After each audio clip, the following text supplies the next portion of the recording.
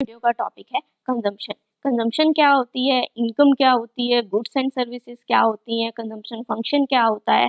और आप इसे कैसे रिप्रेजेंट कर सकते हैं? तो आज की वीडियो में हम ये सब बातें करेंगे। तो सबसे पहले हम कंजम्पशन देख लेते हैं कि कंजम्पशन क्या होती है।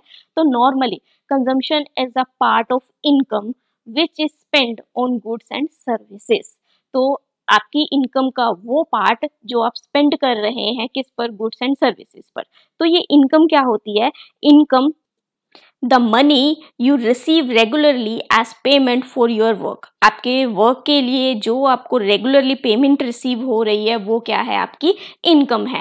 एंड गुड्स क्या है जो आप अपनी डेली रूटीन में यूज़ करते हैं, जिन्हें फॉर एग्जांपल आप कह सकते हैं क्लोथ्स है या वीट है या फिर वेजिटेबल्स हैं फ्रूट्स हैं या जो आपके घर में जो भी फर्नीचर है जिसे आप यूज़ करते हैं, वो क्या है? आपके लिए गुड्स है। एंड सर्विसेज़ क्या है? जैसे फॉर एग्ज़ाम्पल आप ले सकते हैं कोई भी जो बैंक है, वो आपको सर्विस प्रोवाइड कर रहा है तो बैंकिंग क्या होगी? बैंकिंग एक्टिविटीज़ क्या होगी? वो आपकी सर्विसेज़ हो गई हैं।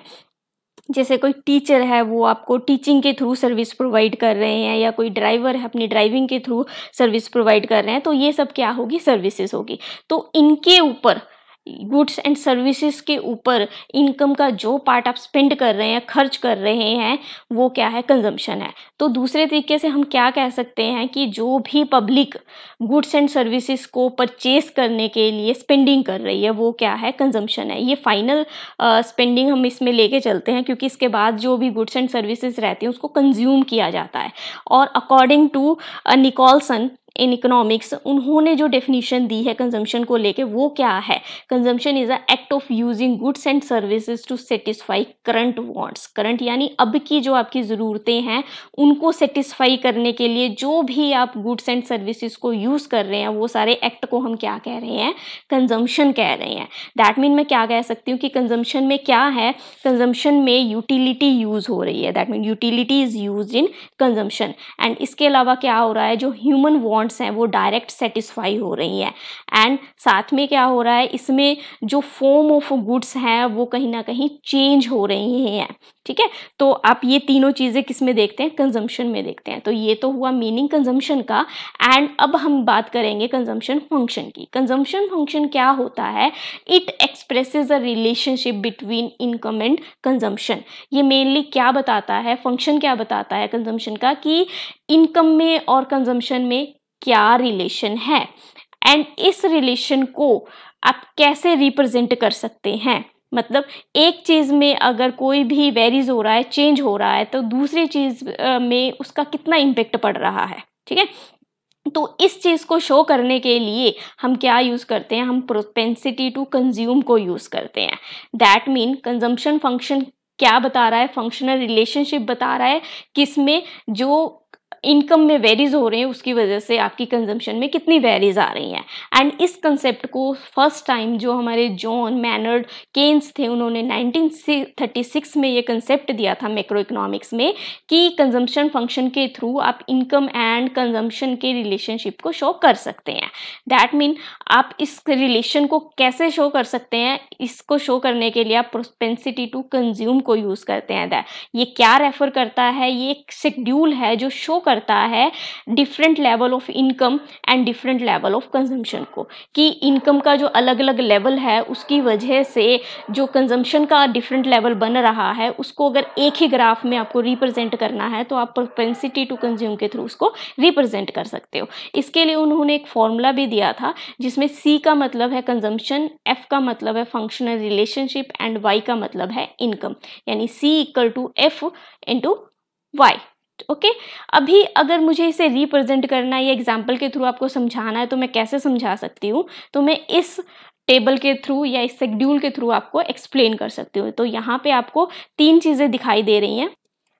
इनकम कंजम्पशन एंड सेविंग अब ये सेविंग क्या होती है? Saving process of setting aside a portion of current income for future use यानी आपकी इनकम का वो पार्ट जिसे आप यूज़ नहीं कर रहे हैं बट उसको आप क्या कर रहे हैं? आप उसको सेव कर रहे हैं किस लिए? फ्यूचर यूज़ के लिए. तो वो क्या होती है? आपकी सेविंग होती है. फॉर एग्ज़ाम्पल आपने अपनी जो इनकम है, उसका कुछ पार्ट आपने बैंक में डिपॉजिट करवा दिया देन उसको आप क्या कर रहे हैं? अभी यूज़ नहीं कर रहे हैं कंज्यूम नहीं कर रहे हैं तो वो क्या है? आपकी सेविंग है.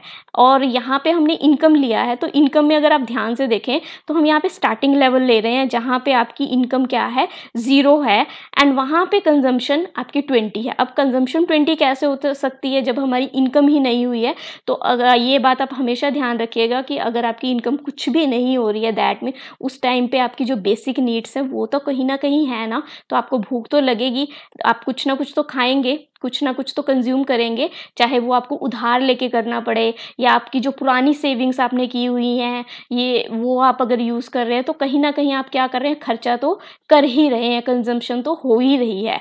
एंड यहाँ पे हम क्या ले रहे हैं सेविंग्स को नेगेटिव ले रहे हैं, क्योंकि मेरी जो सेविंग्स है, अगर सपोज़ करो ये ट्वेंटी जो है, हमने किसी से बोरो किया है, हमने उधार लिया हुआ है दैट मीन ये क्या है, मेरी नेगेटिव सेविंग्स को शो कर रहा है, क्योंकि अगर मेरी इनकम कहीं ना कहीं जनरेट होगी तो सबसे पहले मुझे क्या करना पड़ेगा। ये जो मेरी नेगेटिव है इसको नेगेटिविटी को ख़त्म करना होगा। ट्वेंटी रुपीज़ पहले जिससे बोरो किए, उसको वापस करने होंगे। देन जो बचा हुआ पार्ट है, हम उसको क्या करेंगे? यूज़ करेंगे। ठीक है? तो ये जो ट्वेंटी है, इसे हम ऑटोनोमियस कंजम्पशन कहते हैं। तो हमेशा ध्यान रखना है आपने कि जब आपकी इनकम ज़ीरो रहती है और उस टाइम पे जो आप कंजम्पशन कर रहे होते हैं, वो आपकी होती है ऑटोनोमियस कंजम्पशन अभी आप देखें कि अभी मेरी इनकम ज़ीरो से कहाँ हो गई है? सिक्सटी पर हो गई है। अभी मेरी इनकम कितनी है? सिक्सटी एंड मेरी कंजम्पशन कितनी है? मेरी सेवेंटी मेरी जो बेसिक नीड्स हैं कहीं ना कहीं ज़्यादा हैं। एंड देन यहाँ पे मेरी सेविंग्स क्या है? सेम एज नेगेटिव जा रही हैं, क्योंकि आप खुद देखिए कि आप कमा तो सिक्सटी रहे हैं और खर्च कितना कर रहे हैं? सेवेंटी कर रहे हैं। दैट मीन आपकी अभी भी सेविंग क्या है? नेगेटिव है। देन उसके बाद धीरे धीरे आपकी क्या हो रही है? इनकम इंक्रीज हो रही है वन ट्वेंटी हो रही है। एंड यहाँ पे आपकी कंजम्पशन भी जो है वो क्या हो रही है? इंक्रीज हो रही है। क्योंकि कहीं ना कहीं जब हमारी इनकम इंक्रीज होती है तो हमारी जो कंजम्पशन है, वो भी इंक्रीज हो जाती है। एंड जितना आप कमा रहे हैं, उतना सारा का सारा भी आप क्या कर रहे हैं? खर्च कर रहे हैं। तो यहाँ पे आपकी सेविंग कितनी है? आपकी ज़ीरो सेविंग्स है। एंड देन आपकी इनकम अगेन इंक्रीज हो रही है। बट अभी क्या है? आपकी जो कंजम्पशन है, वो कहीं ना कहीं इंक्रीज तो हो रही है बट स्लो लेवल पे इंक्रीज हो रही है, उसमें जो इंक्रीमेंट हो रहा है वो बहुत ही स्लोली हो रहा है। एंड अभी क्या हो रहा है सेविंग्स आपकी स्टार्ट हो रही है, क्योंकि आपकी बेसिक नीड्स जो थी वो तो 120 तक ही थी, वो कंप्लीट हो गई देन उसके बाद आप क्या कर रहे हैं थोड़ा सा अपनी जो नीड्स हैं, अपनी जो कंजम्पशन है उसको इंक्रीज कर रहे हैं, कुछ नई चीज़ें आप परचेज कर रहे हैं, पहले जैसे आप रोटी, कपड़ा और मकान पर ही खर्चा कर रहे थे, अभी आप साथ में क्या कर रहे हैं कि अगर आपके पास बाइक है तो आप कार लेने के लिए सोच रहे हैं, या फिर अगर आप रेंट के हाउस में रहते हैं तो आप अपना लेने के लिए सोच रहे हैं तो इस तरीके से आप क्या कर रहे हैं तो अपनी जो कंजम्पशन है, उसको इंक्रीज कर रहे हैं। साथ में आप क्या कर रहे हैं सेविंग भी कर रहे हैं। तो आप नेक्स्ट में देखिए, आपकी इनकम जो है इंक्रीज हो गई है टू फोर्टी हो गई है देन आपकी जो कंजम्पशन है, वो भी इंक्रीज हो रही है और साथ में सेविंग भी जो है, वो आप कर रहे हैं। एंड नेक्स्ट में आके जब आप 300 पे आ गए हैं तो आपकी जो कंजम्पशन है, वो 270 है एंड जो सेविंग्स है, वो 30 है। एंड लास्ट में, जैसे ही आपकी जो कंजम्पशन सॉरी इनकम है थ्री सिक्सटी हुई देन आपकी जो कंजम्पशन है वो कितनी है?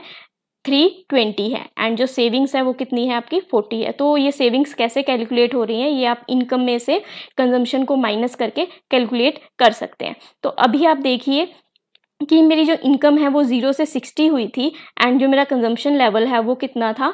ट्वेंटी uh, से सेवेंटी हुआ। तो चेंज कितने का आया? फिफ्टी का चेंज आया।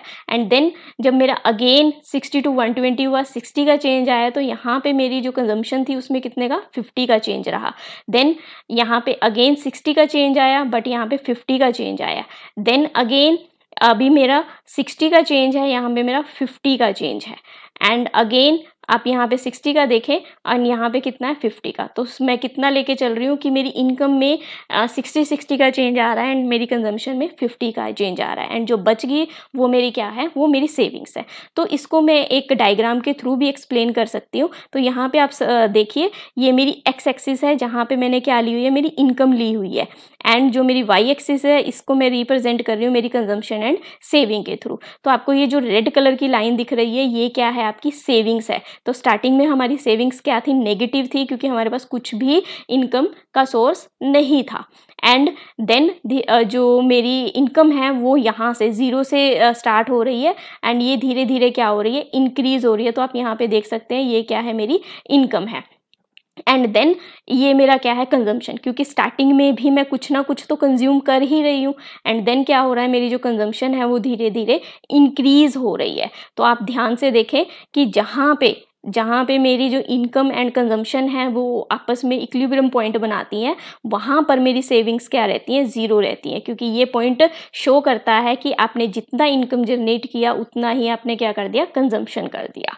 तो ये है आपका कंजम्पशन फ़ंक्शन आप आई होप सो आपको समझ आया होगा। Then one question for you dash is the quality of a product to satisfy human wants तो option is income consumption function consumption या none of this so please answer ज़रूर comment करिएगा. Thank you very much for this video